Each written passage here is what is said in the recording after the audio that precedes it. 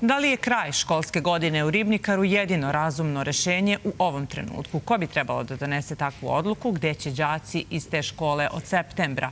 Mi i ovog jutra slušamo glas roditelja. Sa nama je majka devojčica iz petog razreda Gordana Gavrić. Dobro jutro, dobrodošli. Hvala vam što ste ovde. Dobro jutro, hvala vam na pozivu i prilici da razgovaramo o ovoj užasnoj tragediji koja se dogodila u našoj školi. Jeste. Vaše dete je peti razred. Ako se ne varam, vi ste odlučili da dete ne ide u školu. Naravno da. Većina roditelja je zapravo od prvog dana, nakon ovog užasa koji je snašao školu Vladislav Ribnikar, odlučila da svoju decu više ne šalje na mesto zločina. Nažalost, većinski glas roditelja se tada nije čuo. U javnosti je izašla informacija da je većina roditelja bila za danas, 25 dana nakon ovog užasa, mi ponovo razgovaramo o tome da li deca treba da idu u tu školu ili ne treba da idu. A kako je uopšte doneta onda ta odluka?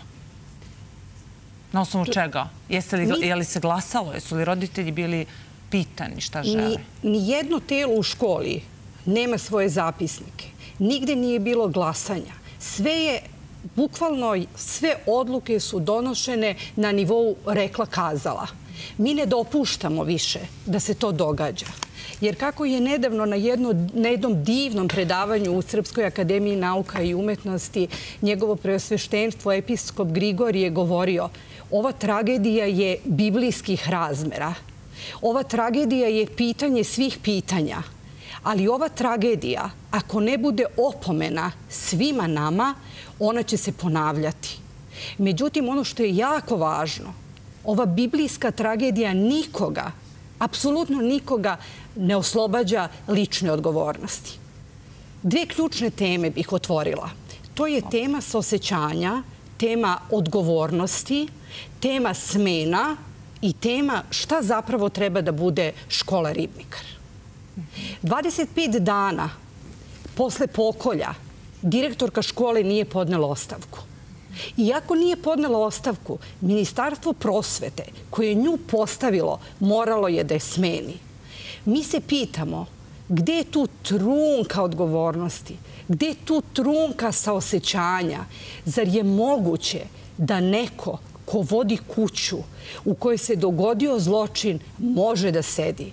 Ta ista direktorka je nama slala informaciju u vreme dok je zasedao savet roditelja da deca treba da pođu u školu sedam dana posle zločina. Kako je to moguće? Kako je moguće da se nije čuo glas razuma? Šta je saosećanje?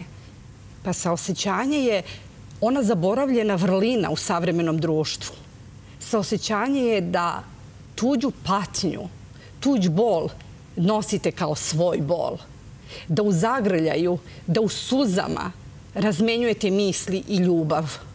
To je saosećanje.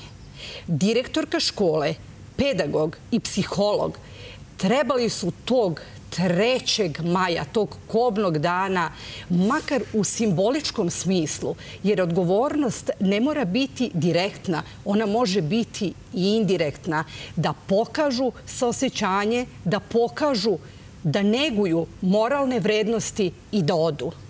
To se nije dogodilo.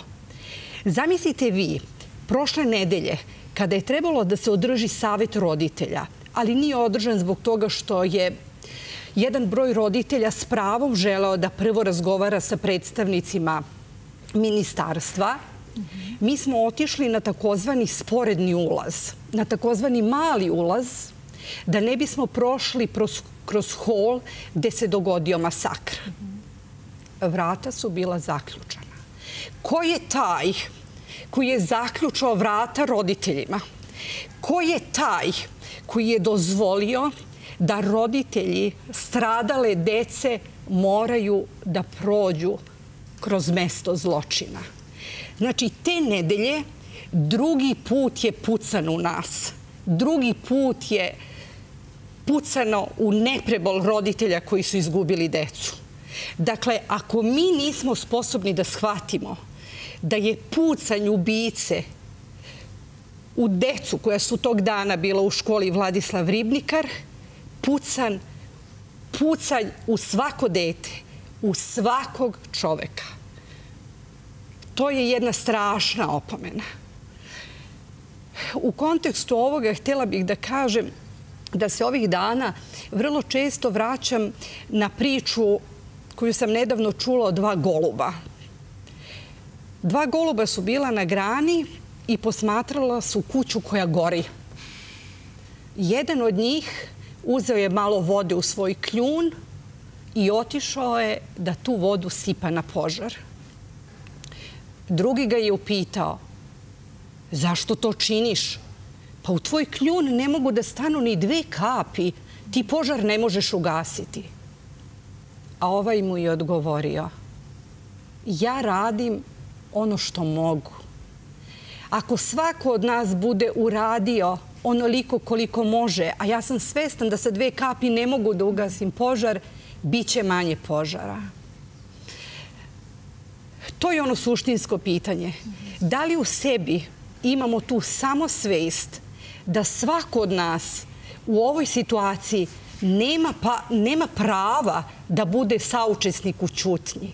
Svako od nas treba da pusti glas protiv ovog zla. Znači, škola Vladislav Ribnikar kao škola od 3. maja za nas roditelje ne postoji. Mi ne dozvoljavamo više da se naša deca igraju, razmišljaju, razgovaraju, uče na mestu zločina. S tim u vezi smatramo da škola treba da postane memorialni centar. Zašto memorialni centar? Zbog toga što ovaj fizički svet i onaj metafizički počiva na sećanju, počiva na uspomenama Mi ne želimo niko da nam zatre sećanja na nedužno prolivenu krv. Mi ne želimo da zaboravimo decu i našeg čuvara Dragana koji su stradali tog 3. maja. Da li iko od onih koji sada upravljaju školom ili upravljaju određenim odlukama razmišljaju o tome da se u bliskoj, u, u našoj savremenoj istoriji dogodila su se dva krvava oktobra. Kragujevački oktobar i Kraljevački oktobar. Mi sada imamo krvavi Beogradski maj. Na mestu zločina se ne peva, na mestu zločina se ne slavi, na mestu zločina se ne igra. To su mesta za opelo, to su mesta za molitvena sećanja, to su mesta za komemoracije. I zbog toga škola Vladislav Ribnikar za nas kao škola više ne postoji. I vratit ću se još jednom na to šta je saosećanje. Vreme i prostor su kategorije koje ne poznaju konačnost. U vreme naše tragedije javili su se monasi iz Svetog manastira Hilandara. Oni su samo fizičko, fizički bili daleko od nas a u dušama su bili u molitvi sa nama. Oni su čitali molitve za, upokojene za upokojenu decu i za čuvara Dragana.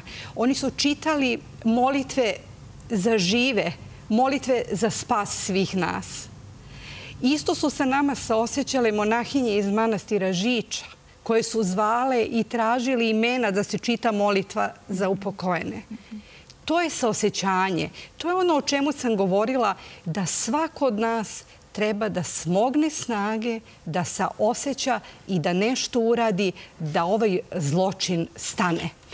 Slažem se sa vama. E, ono što mi možemo jeste da otvorimo vama ovaj prostor, da vi kažete ono što mislite, što osjećate i što uh, smatrate da je da je razumno u ovom trenutku, a o septembru pretpostavljam da ćemo pričati kada ovo sada se razreši o tome gde bi deca mogla u septembru da idu u školu i ono što je e, na e, u jednom gostovanju jedan e, psiholog, psihoterapeut rekao jeste, on je zapitao to i ja sam pomislila kako niko to nije o tome nije razgovarao u ovom prethodnom periodu, da li će jedan roditelj, čak i kada bi škola nastavila da radi, da li bi jedan roditelj sutra svog, svoje dete, đaka prvaka upisao u tu školu? Smatramo da, da ne. Da. Znate šta, ako treba škola da funkcioniše kao škola, to jedino možemo razumeti da je stavljanje soli na živu ranu. Mi ne želimo so na živu ranu. Mi želimo melem. Mi želimo novu zgradu u kojoj će naša deca ići. Mi to tražimo. Ali izgleda da još uvek nema sluha. Razdor se i dalje pravi. Mi smo dobili sada jedno obaveštenje da je napravljen plan rada za decu koja ne žele da pohađaju školu i hvala svim institucijama kulture koji su ponudili svoje prostore. Ali to je novi razdor, razdor među decom, razdor među nastavnicima i roditeljima.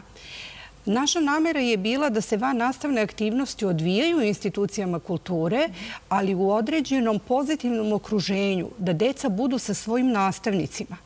Ali postavlja se pitanje kako će nastavnici koji su takođe pod traumom smoći snage da se multipliciraju. To je nemoguće. Oni imaju nalog da budu u školi, da rade sa decom koja dolaze u školu. Tako da je to samo stvaranje razmirica, nepotrebno stvaranje razmirica. Mi zaista se osjećamo i sa nastavnicima koji su bili tog dana sa našom decom, koji su uspeli da sačuvaju našu decu, ali ipak treba da sačuvamo razum, da budemo slobodno misleći ljudi i da se izborimo za jedino moguće rešenje. A to je da stavimo tačku 3. maja na postojanje škole Vladislav Ribnikar u toj zgradi. Hvala vam mnogo što ste bili ovde danas. Hvala vama.